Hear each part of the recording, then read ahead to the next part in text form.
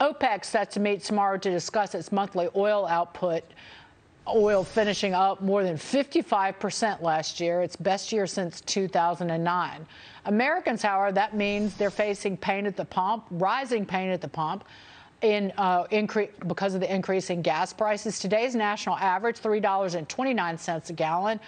And will we see four bucks a gallon on average this year? Joining me now, gas buddy head of petroleum analysis, Patrick DeHaan. Patrick, where is gas going to peak, at what price, and when? Well, Dagen, I think that we certainly could see that national average hit four dollars a gallon at some time in a April to May timeframe. That's usually when we have culmination of factors leading to higher prices. Of course, it'll be a switch over back to summer gasoline, rising demand as we continue to recover from Omicron. Uh, certainly, we could get there this year. Ken Mahoney, jump in. So it's amazing. We've gone from energy independent to energy dependent in about uh, like 12 minutes, okay? Uh, and Glasgow, not a good look. You go there to talk about renewables, and 24 hours later, you're asking OPEC members, who hate us, by the way, to pump on more supply. I mean, this is kind of the strategy right here. It feels like it's such a, I don't know, it's like a foreign tax to consumers. I mean, at, at the end of the day, our technology's not there yet, right? I mean, for renewables. So it's everything we've done is done in haste. This this two-year window before midterm elections, you know, in and out of Afghanistan quickly, you know, from fossil fuels to renewables very quickly. Um, what is your take on like increasing supplies? Again, we know we can do it. We know we can be energy independent by turning on some of these pipelines.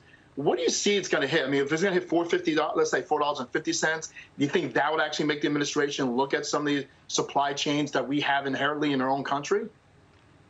Well, when it comes to pipeline capacity, we're already seeing existing pipelines. There was a pipeline boom here in the last decade, and a lot of existing pipelines aren't being utilized. The problem, as you point out, is simply oil production. Now, OPEC is meeting, uh, will likely uh, agree to increase production by a further 400,000 barrels a day, as it's been doing every month since July. But OPEC is starting to near the point where they're running out of spare capacity.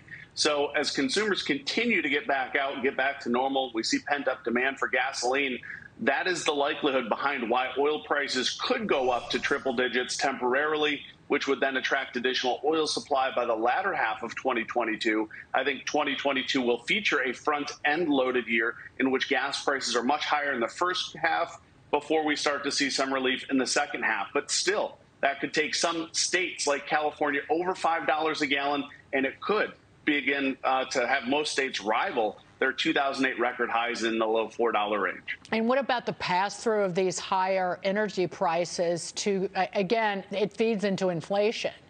Higher prices for transport means higher prices of in goods.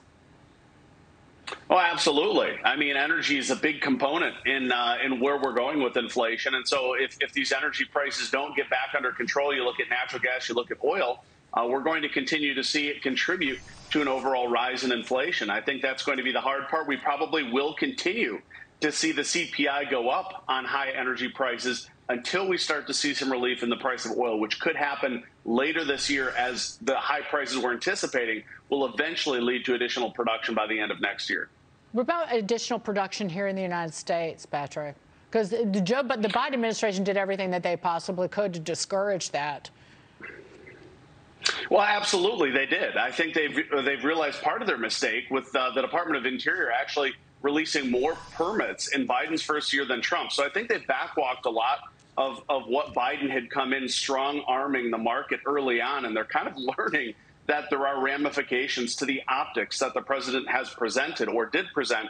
And I would look for a, a slow undoing uh, of some of those policies as we progress with high energy prices. The president realizes that he's going to have to loosen his tone. Patrick De Haan, thank you so much. I guess $4 a gallon. With the record high for the, the national average was 411 in July of 2008, right? That's right. And we're going to get very close. We could even breach that this year. I shake my head. Saw it coming. We've seen it coming for a, a year now. Patrick, thank you so much. Thanks, Happy. New Year.